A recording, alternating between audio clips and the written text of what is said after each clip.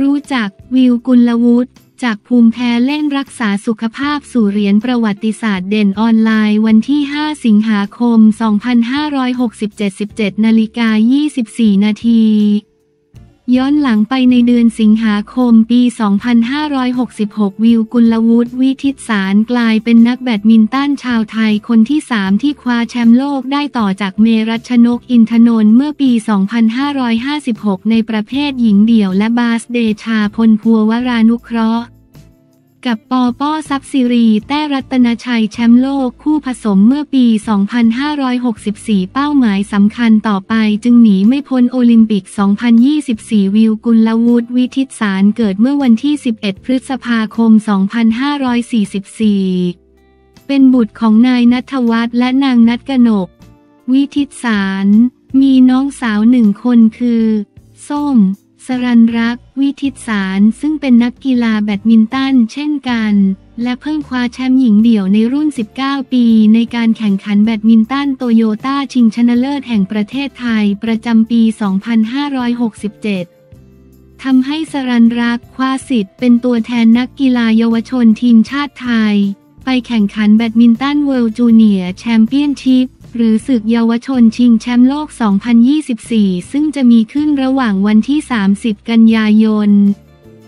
ลบ 13 ตุลาคมนี้ที่เมืองหนานชางสาธารณรัฐประชาชนจีน โดยอัตโนมัติด้วย วิวกุลวุฒิเริ่มเล่นแบดมินตันเมื่ออายุ 7 ปีเนื่องจากต้องตามคุณพ่อซึ่งเป็นผู้ฝึกสอนแบดมินตันไปที่สนามในระยะแรกนั้น วิวกุลวุฒิ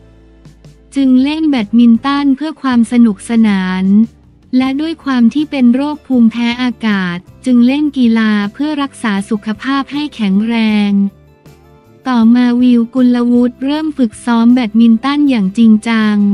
เพื่อลงแข่งขันระดับยุวชน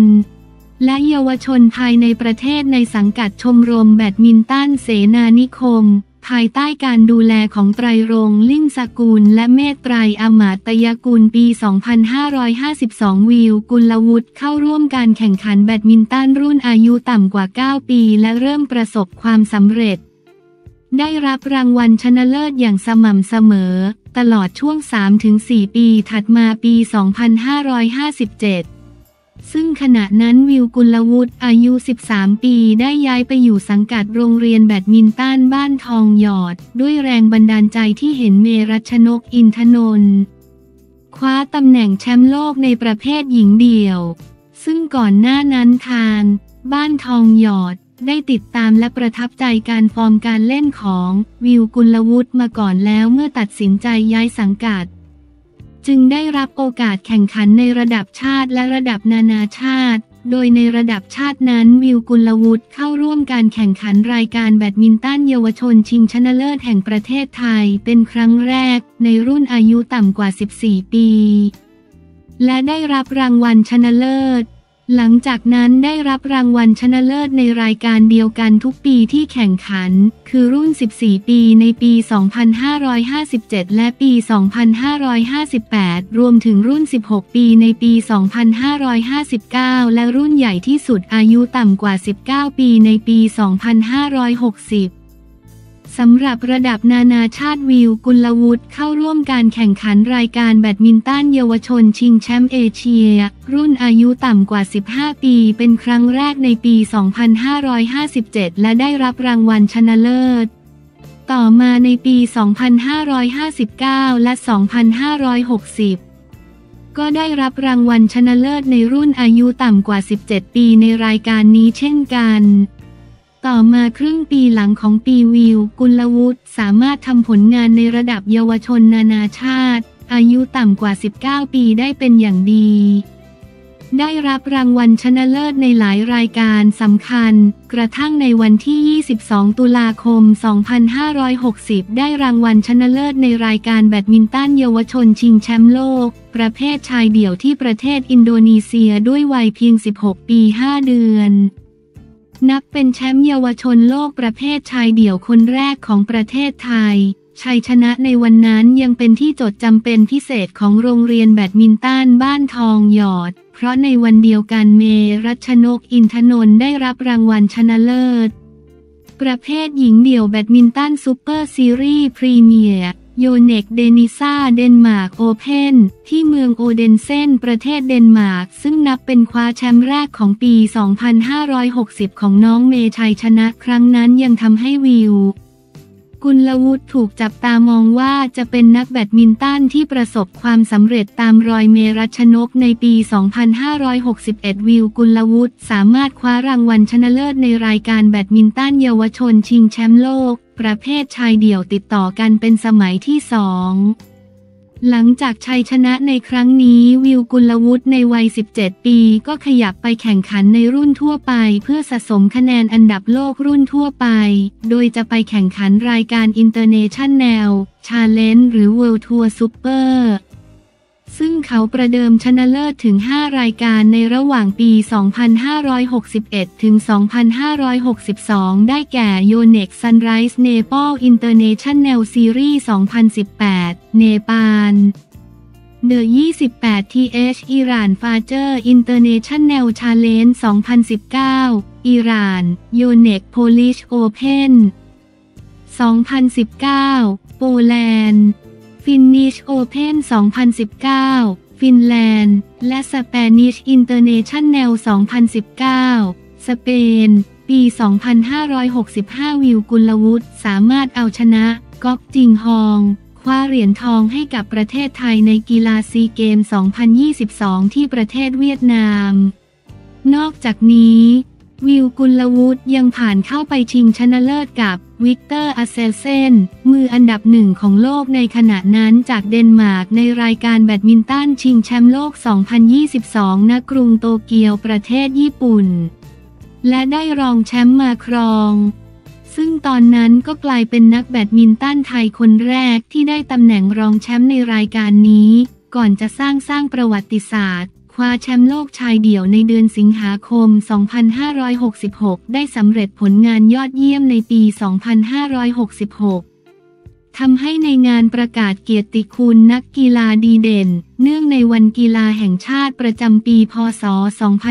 2566 ที่จัดโดยการกีฬาแห่งประเทศไทย กกท ซึ่งจัดขึ้นในวันที่ 16 ธันวาคม 2566 วิวกุลวุฒิ ได้รับรางวัลนักกีฬาสมัครเล่นชายดีเด่น เป็นสมัยที่สองจากผลการโชว์ฟอร์มกระหึ่มโลกล่าสุดปี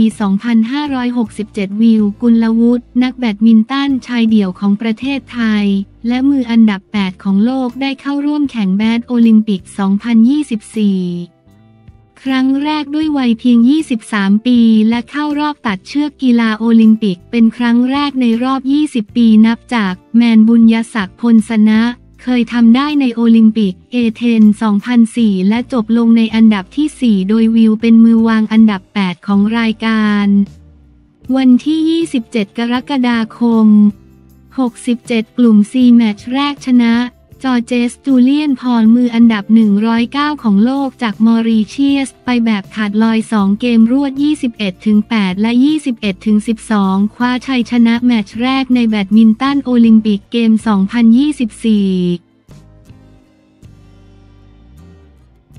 วันที่ 31 กรกฎาคม 67 รอบแบ่งกลุ่มกลุ่ม C แมตช์สุดท้าย ชนะผ่านคัลเล โคลโยเนนมืออันดับ 60 ของโลกจากฟินแลนด์ 21ถึง4 8ถึง0 retire ทำให้วิวผ่านเข้ารอบ 16 คนสุดท้ายในฐานะอันดับหนึ่งของกลุ่ม วันที่ 1 สิงหาคม 67 รอบ 16 คนสุดท้าย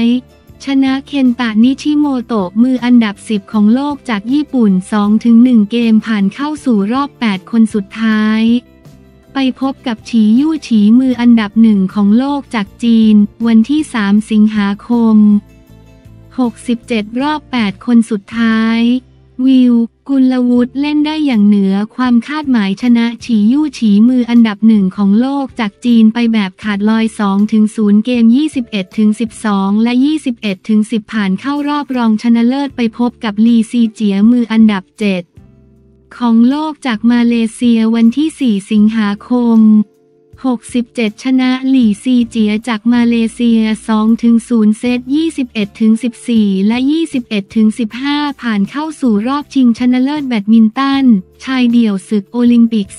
2024 ได้สำเร็จ การันตีเหรียญเงิน วันที่ 5 สิงหาคม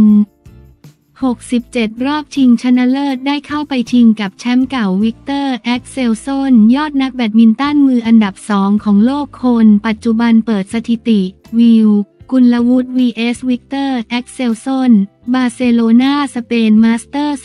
2020 วิกเตอร์แอ็กเซลซนชนะกุลวุฒิวิทิตศานต์2-0 เกม โตโยต้าไทยแลนด์โอเพน2021 วิกเตอร์ แอ็กเซลซนชนะกุลวุฒิวิทิตศานต์2-0เกม สวิสโอเพน2021 วิกเตอร์ แอ็กเซลซนชนะกุลวุฒิวิทิตศานต์ชนะ2-0เกม HSBC BWF World Tour Final 2021 วิกเตอร์ แอ็กเซลซนชนะกุลวุฒิวิทิตศานต์ ชนะ 2-0 เกม BWF World Championship